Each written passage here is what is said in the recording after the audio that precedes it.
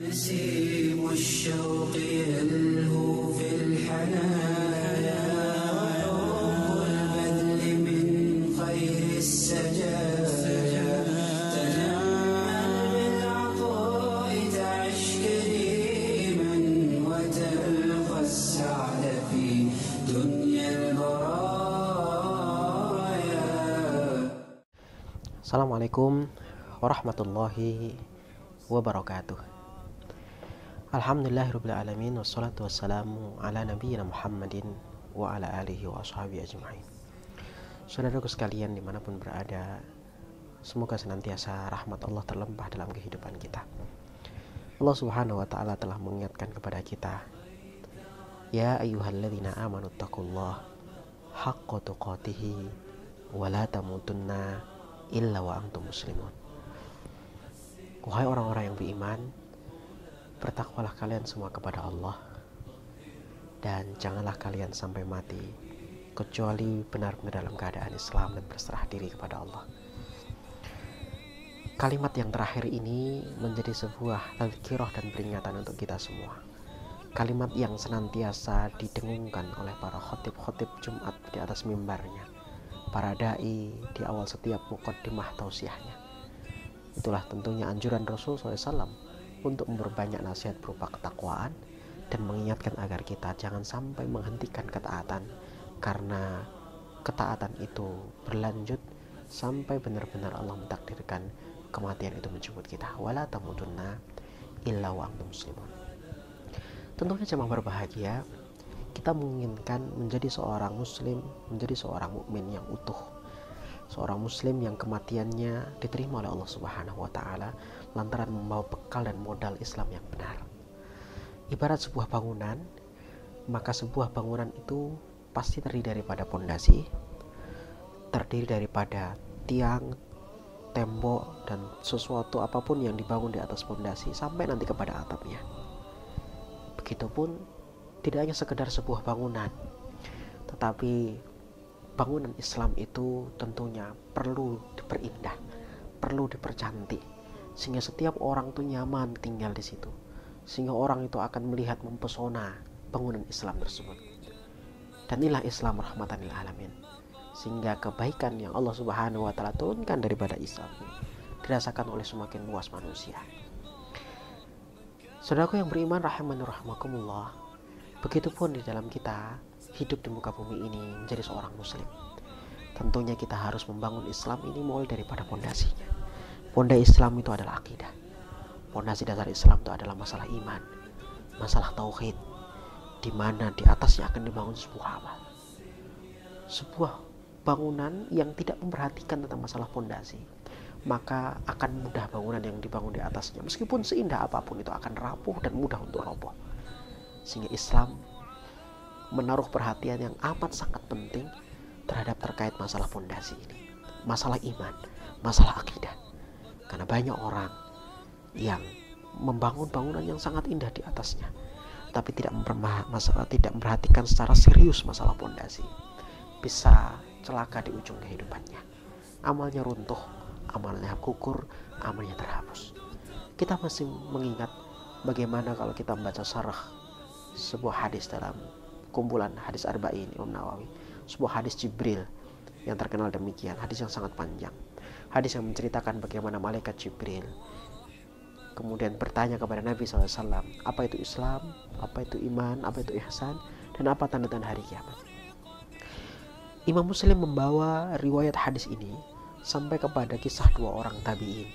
Bernama Yahya bin Ya'mar dan Humaid al-Hamyari rahimahullah dua orang tabi'in yang akhirnya ketika melakukan umroh mampir ke Madinah Al-Munawwarah untuk berjumpa dengan seorang sahabat yang masih hidup pada waktu itu. Dialah Abdullah bin Umar radhiyallahu anhu. Apa yang dilakukan hajat apa, keperluan apa sehingga ingin datang kepada Abdullah bin Umar. Dua orang ini menceritakan, "Innahu qad dhahara nasun yaqra'una al-Qur'an." Telah nampak di tempat kami. Sekelompok orang yang mereka itu suka gemar baca Quran, sebuah kebaikan amal soleh. Ya Allah mencatat dan menetapkan kebaikannya secara spesial. Wala aqulu alif lam harfun. Nabi menjelaskan, orang baca Quran alif lam tidak disebut baca satu huruf, walakin alif harfun lam harfun mim harfun. Sebuah kebaikan keutamaan. Dia akan datang pada hari kiamat kelak akan beri syafaat kepada para pembaca. Sebuah amal soleh yang mulia. Tapi kita lihat lanjutnya mereka meyakini wa annal amru unuf. Yaz'amuna anna la qadar. Rusak imannya masalah takdir. Rusak pondasinya tentang masalah keyakinan masalah ketetapan Allah Subhanahu wa taala. Apa kata Abdullah bin Umar? Faidalah kita ulaik.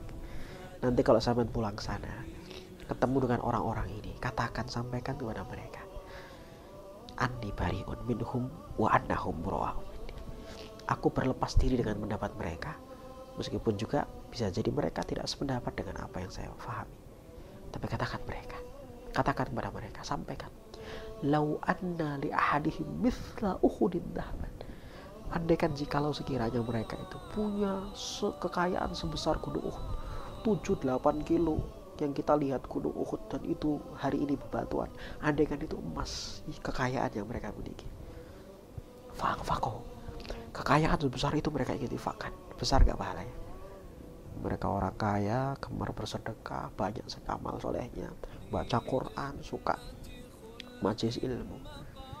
Tapi sayangnya rusak imannya. Pondasinya bermasalah.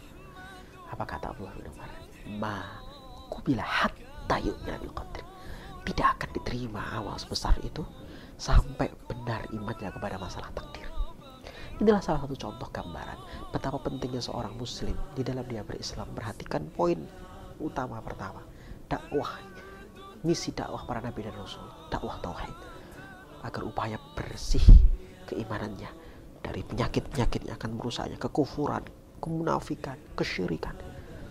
Karena sesungguhnya seorang yang menaruh perhatian serius tentang masalah pondasinya perhatikan batunya pasirnya adonannya besinya ya dan sebagainya keseriusan ini akan keseriusan dia dalam perhatikan masalah pondasi akan mengantarkan pada bangunan yang kokoh dan kuat yang dibangun di atasnya. Meskipun mungkin tidak meskipun tidak apa namanya besar dan sebagainya.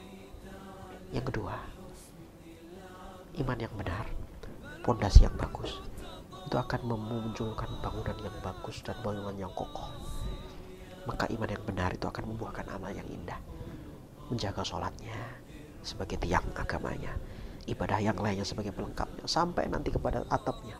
Zirwatu sanamil Islam Puncak tertinggi Islam yaitu al-jihad Fisabilillah Untuk melindungi bangunan ini agar tidak roboh Dari musuh-musuh Allah subhanahu wa ta'ala Yang pasti tidak suka dengan Islam. Walang tarbu angkal Yahud Walang nasara hatta Tetapi abilatahum Maka Allah menurunkan Quran. Bersama Quran itu pasti ada Al-Hadid Besi. Dan itulah salah satu hikmah Bangunan Islam itu sampai puncaknya Ada syariat namanya al-jihad Fisabilillah Untuk apa fungsinya? untuk melindungi agar Islam ini bisa ditegakkan dengan benar, ditegakkan dengan baik, ya. Dan inilah upaya untuk menolong agama Allah Subhanahu wa taala. Cukupkah seorang itu kemudian pondasi beres, bangunan dibangun di atasnya, ibadah-ibadah yang Allah tetapkan telah ditegakkannya dengan benar sesuai dengan contoh Rasulullah?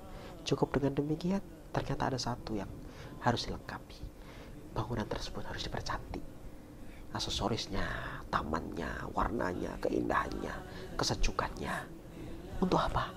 Semua orang nyaman tinggal di situ dan inilah Islam. Inilah Islam disempurnakan dengan akhlak. Inna mabu istu liutami memakarimal akhlak. Rasul diutus untuk menyempurnakan kaitan masalah akhlak. Beliau pernah ditanya tentang seorang wanita suatu hari. Ya Rasulullah, inna fulana tandaqumul lail. Ada seorang wanita yang dia itu akrab sekali dengan aktivitas bangun malam sholat tahajud. Watasumun nahar siang harinya dia bisa menahan lapar dahaga puasa selalu. Ya watafal watasodak banyak perbuatan baik ia kerjakan. Banyak sedekah telah ia keluarkan. Akan tetapi seiring dengan ibadah yang dilakukan waktu lijirona habilisannya dia senantiasa menyakiti tetangganya dengan lisannya. Wa kaifa ya Rasulullah bagaimana pendapat engkau tentang wanita seperti ini wahai Rasulullah? Beliau mengatakan la khaira fiha hiya min ahli nar. Lihat dia akan mencicipi panasnya api neraka. Sehingga seorang itu merasakan panasnya neraka. Bukan karena gak sholat saja. Masalah kakum fi sakor qalu lam nakum musallin. Apa yang menyebabkan kalian masuk neraka sakor dulu kami tidak sholat benar. Orang yang tidak melaksanakan ibadah ada ancamannya neraka tetapi ada pula orang yang dia sudah sholat ibadahnya sudah bagus tapi tetap tersentuh api neraka. Tidak wakina ada benar. Dia akan mendapatkan nikmat surga karena imannya. Akan ditimbang amalnya. Tapi harus dihisap dulu dan mencicipi panasnya api neraka. Apa sebab? Bisa jadi cuma gara-gara masalah akhlak. Lisannya tidak pernah terhenti untuk menyakiti saudaranya tetangganya sahabatnya memfitnah menghibah dan sebagainya. Inilah kenapa wala illa wa antum muslimun. Adalah konsep bangunan Islam yang sempurna dan utuh diawali dengan memperhatikan pondasi yang sangat kokoh. Bangunan ditegakkan dengan baik dengan contoh Rasul SAW kemudian diperindah dengan akhlak yang mulia. Rasulullah Nabi Muhammad wa Muhammad. Mudah-mudahan Allah Subhanahu wa taala senantiasa menjadikan kita memberikan kepada kita kesempatan untuk mempersiapkan bekal yang baik untuk akhirat kita memperkokoh akidah kita membangun selalu menegakkan ibadah-ibadah yang telah Allah syariatkan serta melengkapinya dengan memperindah bangunan Islam tersebut dengan akhlak dan pesona yang mulia. Wassalamualaikum warahmatullahi wabarakatuh.